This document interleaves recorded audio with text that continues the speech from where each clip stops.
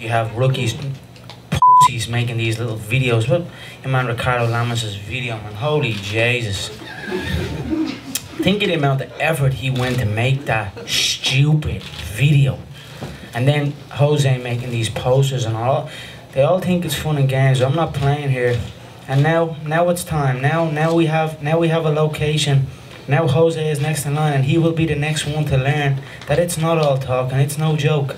Every Dennis as well, Dennis as well, and I respect Dennis. He's a, he's a veteran of the game. He, he made mistakes in the past with his uh, steroid abuse and whatnot, but um, I, I respect him at the end of the day. He's had more UFC fights than I've had fights, but he was another one. He's all talk. He's all. It's a joke, or I don't know what the to be saying, but this is not for me. This is not a joke. I'm not messing around here. I said I was gonna kill everybody wipe out the division.